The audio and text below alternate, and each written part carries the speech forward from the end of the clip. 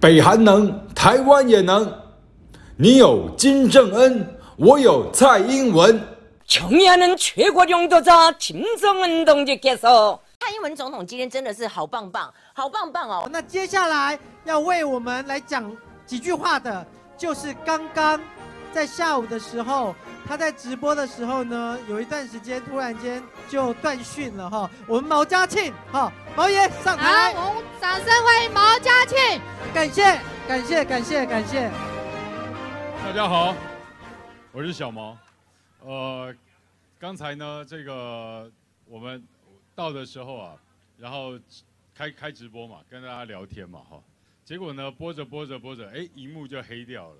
我我觉得我一定是被我旁边那个另外一台直播韩国人带衰的了，哈。因为只要我们在一起，就是被民主啊，哈。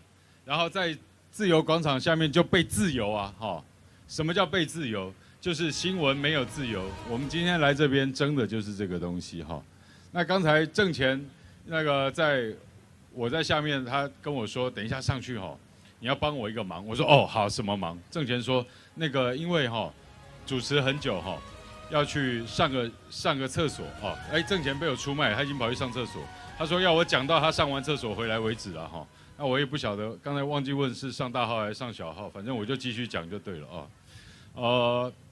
小弟呢，这个从大学毕业隔天哈就开始干一个工作，叫记者哦，好，我也待过中天，那我也待过中视，像佑正刚刚就在下面跟我聊了很久哈，其实也都很感慨。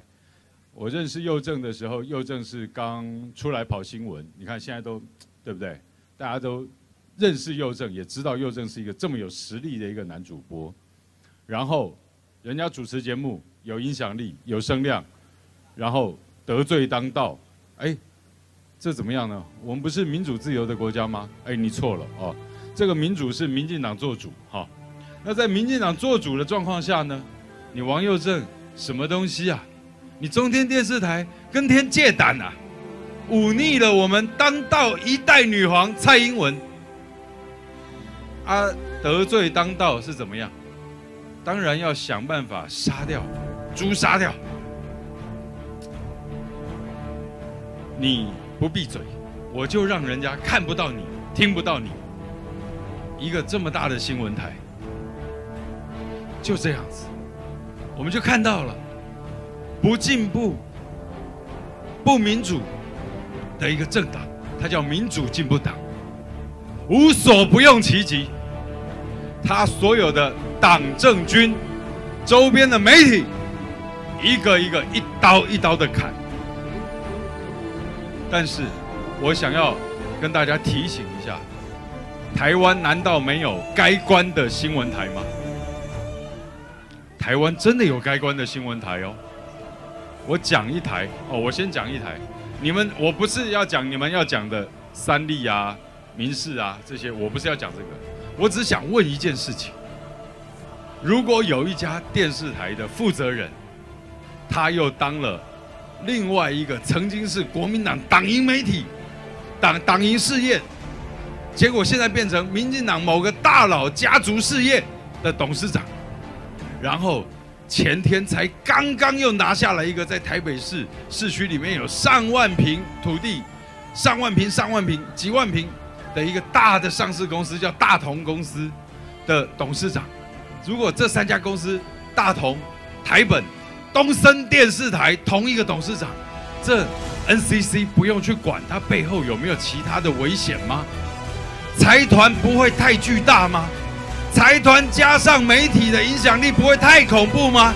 如果这个董事长叫林文渊，他是民进党的大总管，你不害怕吗？害怕？中天电视台有东森大吗？他有大同公司有台本公司吗？他背后有大同公司拿下来的三元建设的董事长是蔡英文的表哥，你们知道吗？NCC 不会敢去管这个的啦，NCC 只会来弄中天啦，因为中天就骂蔡英文嘛，啊不是骂了，也是理性监督而已了。哦，啊，你就受不了了。人家讲实话，你就受不了了。今天我们在这边叫自由广场，我们已经很无奈了。本来上面应该叫大中至正了哈，叫自由广场，我们要彰显的就是这块土地上，在民进党的暴政统治之下，已经没有民主，没有自由了。关中天要为我们吃瘦肉精，这时候我们不但需要中天继续监督。我们也需要强而有力的在野党。过几天我会好好的跟郑前聊一聊，在野党应该怎么样去强力的发挥倒戈、瘦肉精，还有践踏新闻自由，我们吞不下去。你吞得下去吗？吞不下去，吞不下去要站出来，要站出来。明天在这里，礼拜一在仁爱路。济南路都有听证会，这一场仗不是你的事，不只是你的事，不只是我的事，是我们大家的事。新闻自由跟瘦肉精，如果我们这些都吞得下去，我们以后当他们的奴隶，真的是刚刚好而已了啊！为了下一代，为了台湾，我们不能再姑息养奸。我们没有退路，没有退路，捍卫新闻自由，大家不要说说而已。用你的 Line 传给你的朋友，在你的 Facebook 去转贴，把所有不公不义的事情，让大家都要站出来，不能再只是说说。今天只是开始，路很长，大家要一起走。谢谢。